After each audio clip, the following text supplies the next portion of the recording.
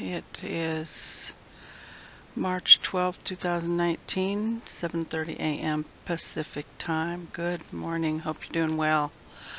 Whew, boy. Thank you, Lord, for this day, and thank you for your word. Thank you for your word, Lord. thank you for your word, Lord. I'm still trying to speak, uh, learn how to talk, people. So thank you for your grace and mercy. Um, Psalm 60. Lord, we pray this to you. I may, may go into Psalm 61 also. We'll see, okay? Just really want to enter into the presence of the Lord. Um, I don't have anything or anybody in my ear today. Yesterday I tried something different, but that didn't work. I don't think it even worked with God, but He allowed me to try something new only because God allows us to try things, okay? He really does. He allows us to try things and he actually encourages us to, I believe. But at the same time, we learn when we try things, we learn what works and what doesn't work. So his grace is amazing, okay? We need to also give each other grace um, and so, Lord, um, people of the world don't know what grace is. They don't know what mercy is. They have no idea what your mercy and grace is, Lord. That's why we have all this fighting, political fighting. This is why we have all this hatred towards President Trump, because the world has gone about to establish their own righteousness. You see, and it's not even the righteousness of God, because our own righteousness, people, are as filthy rags to God. When we go about establishing our own righteousness, it never works in the sight of God. Okay, so read Romans 10 I encourage you to read Romans 10 and read all the Bible, but I mean, you know, we can't just sit and read the Bible all day long. Or maybe we could. I think when we get to heaven, we're going to be able to do these kinds of things and multitask also in heaven. So, really, can you imagine uh, if you're a multitasker like I am? Can you imagine being a multitasker in heaven? Oh boy, it's going to be fun. I can just see us making movies, singing, being a ballerina, modern dance, um, art, uh, being able to speak perfectly well, being, being able to write perfectly. I mean, all these things that I feel like I can't do and don't do because I feel inadequate. But can you imagine all your dreams coming true actually when we get to heaven? And so we just do the best we can down here and give each other grace, okay? Uh, Father, I lift up Carl, Carlton, Tucker Carlton, Lord. I saw the video with the audio on Media Matters yesterday. Whatever. It's like people get a life, get a grip, and get a life and stop this nonsense. Um, oh boy. Okay, so help me, God. Uh, help me get a life, Lord. I mean, I apply the same thing to myself, people. Psalm 60. This is why the Word of God is so good because, wow. It just, well, let me just read it. Psalm 60. Oh God, Thou hast cast us off. Thou hast scattered us. Thou hast been displeased. O turn thyself to us again. Thou hast made the earth to tremble. Thou hast broken it. Heal the breaches thereof, for it shaketh. There's so much in these two scriptures verse 3 thou hast i mean on many levels okay many levels god's word goes deep and goes wide and go goes long Thou hast made the earth to tremble, thou hast broken it. Heal the breaches thereof, for it shaketh. Thou hast showed thy people hard things. Thou hast made us to drink the wine of astonishment. Thou hast given a banner to them that feared thee. Astonishment astonishment can mean at, at both both ends of the spectrum the astonishment of OMG like oh no this is not happening to oh wow this is happening the good the bad and the good you know thou hast given a banner to them that fear thee that it may be displayed because of the truth selah thank you for for the banner lord Thou hast given a banner to them that fear thee. I'll have to look that word banner up.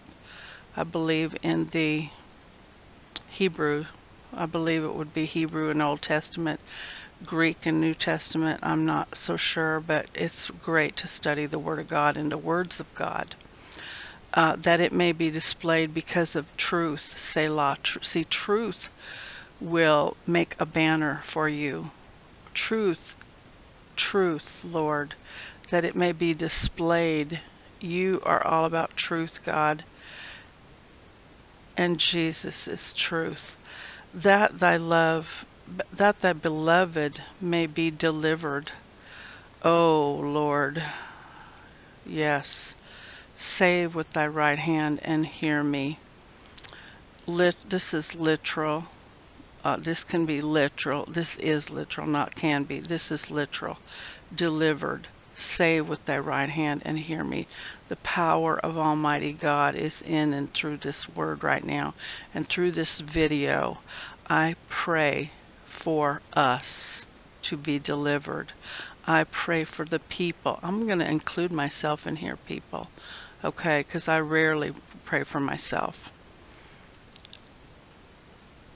God hath spoken in his holiness. I will rejoice, I will divide Shechem, but this is for you, whosoever you, of you who watch these videos. And then we intercede for others too, because they don't know. So many people are ignorant of God's word, so we have to pray for them. We have to pray for them while they're in the place where they don't know God, where they're getting to know God, where they might know God or think they know God. We intercede for God to send His word out, okay? God has spoken in His holiness. I will rejoice. I will divide Shechem and met out the valley of Succoth. Now, in the Old Testament, this was this would literally be now God's not bound by time, so this is literal and this is back then and this can be literally right now in various ways, in various distinctions, in various levels of life. You get what I'm saying? I know that those of you that understand what I'm saying understand it's almost like read between the lines, but read the lines. Read the lines too. Gilead is mine and Manasseh is mine. Everything is his. Everything is his. Ephraim, Ephraim also is the strength of mine head. Judah is my lawgiver. Moab is my washpot. Over Edom will I cast out my shoe. Philistia, triumph thou because of me? Who will bring me into the strong city? Who will lead me into Edom? In other words, who? It will be God. It will be God. Wilt not thou, O God, which hast cast us off, and thou, O God, which did, didst not go out with our armies, give us help from trouble, for vain is the help of man. Through God we shall do valiantly, for he it is that shall tread down our enemies. Lord, thank you for your powerful, amazing, holy word. Thank you, God, for you. Help us, Lord. We call on your name and we call on the name of Jesus. And we thank you and we give you all the praise and glory for what you're doing in our lives, what you're doing in and through our prayers and our country and the world. We lift up Venezuela to you right now, Lord. We take authority over the hell right now going on in there. And we pray for our leaders, Lord, that you would help them to tread carefully. We take authority over us getting into wars, more wars, endless wars, but we also intercede for these countries that are in turmoil. We lift up Maduro to you and Guaido. We lift up the people of Venezuela, the people, the little people who are suffering. We bind the suffering. We lift up the border wall. We lift up the people trying to come to our country, escaping other countries, trying to come to ours. God, you see their desperation but you also see our need for enforcing our laws in our country. So, Lord, we lift up the Congress to you and pray for President Trump to get the money for the wall. We bind um, government shutdown over this. We pray for people to come together. This is why they were elected to come together and decide and let down their own arrogance and pride and strong-willed, the strong-willed ch child in government officials. We bind it in the name of Jesus. We take authority over rebellion and nonsense.